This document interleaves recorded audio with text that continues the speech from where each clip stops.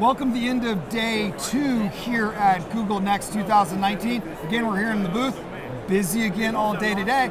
But more important, we had some fantastic announcements today, and I got to catch up with the person making those announcements. PD, thank you for taking the time. Thank you for having me.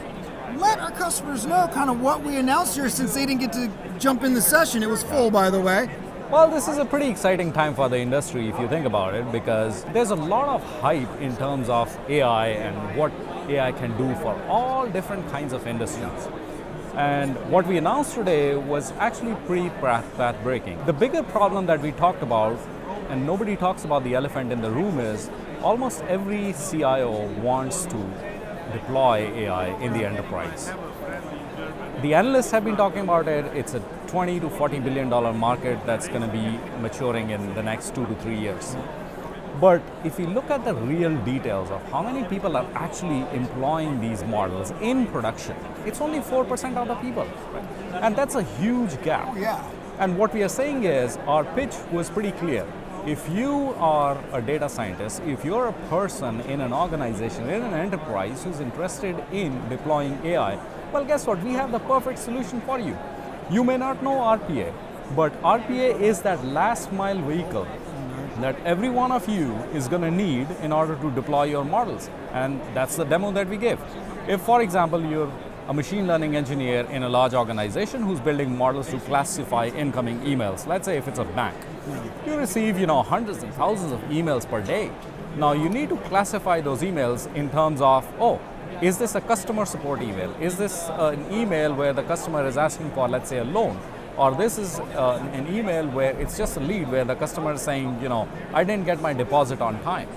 How do you classify those emails? Now, you as a data scientist can use the best-in-class tools given by Google, given by any of our partners, or even yourself to build this model. But now, when the rubber hits the road, you have to deploy this model and you have to integrate with the end user applications. Well, guess what? It's going to take you more time, almost double the time to do that. And our pitch was, guys, guess what? If, if there was something where you could do this in 30 seconds, and that's the whole premise of the AI fabric, where we take the insights coming out of these AI models, put them straight into the line of business applications that everybody in the organization is already using. And so the fabric that we built essentially lets you manage all these models. You upload the models up into the cloud. That's why we were in Google. We, you can use GCP yeah. upload these models.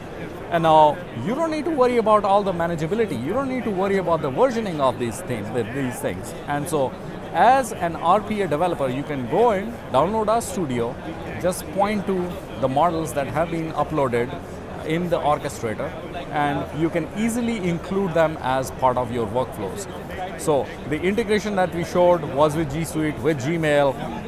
It's a robot that we ran right on the stage, and within 20 seconds, it went through your whole mailbox and classified all those emails. Think of if a person has to go through hundreds of those emails and think, okay, what is this email about? Oh, it's about a lead that is coming in. Oh, this is actually a customer complaint, so I needed to send it to, to my customer service department.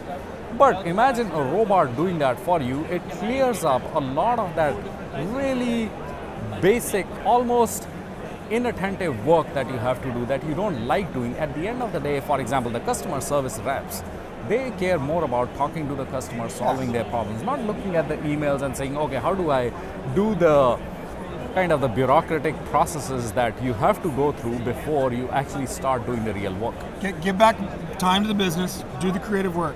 Yep. Now, with Fabric and what we've announced, that, that's the underlying ability, right? So we're, so we're, so we're going to have that in the product. Right yep. now, it's it's still um, in private preview. In private preview, okay. Yep. So if, if I was interested as a customer, wanted to start engaging with us, how we do that? So if you're a large customer, we have an early adopter program okay. right now. So we have a part of our team which is dedicated to enabling these customers. If you're a large customer, let's say you're a large retailer or a large consulting company, we can always vet that opportunity looking at how big is that opportunity for the customer.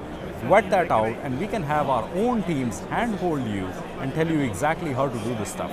We are releasing it in private preview and this is a cloud first functionality. But as we as time goes on, we built this thing within three months. Yeah. So our speed of development is pretty fast to the point where we'll be releasing features where you can manage these pro, uh, models on-prem. Right now, there aren't any technologies like Google is releasing something called GKE on-prem. But again, it just lets you manage your models. If you have to get the insights out, close the data feedback loop, there's no infrastructure in the world like ours where you can do that really easily. So this puts us ahead of everybody else as we're going talking with AI with. We are the first RPA company to have native AI container support in the workflows. There's nobody else in the world who does that. So, guys, you've heard this for Yep. first. We announced it here at Google Next 2019. We're going to continue with this vision. I'm excited. I think everybody This in is the is super excited about this opportunity. Yep. Thank you for being uh, here. Thank you. Giving us a little bit more of explanation. And Yep. I just want to say thank you for driving the team. You know, and really pushing us to be the best that we can and, and get there out We are all in this together. We are all in this together. So again, you need to work with us on future stuff within the private preview. Uh, please get a hold of us, but we'll be bringing more of this to you about our AI strategy just in the near future. So stick with us. PD, thank you again for everything. We'll talk to you soon. Yep. Thanks, everyone.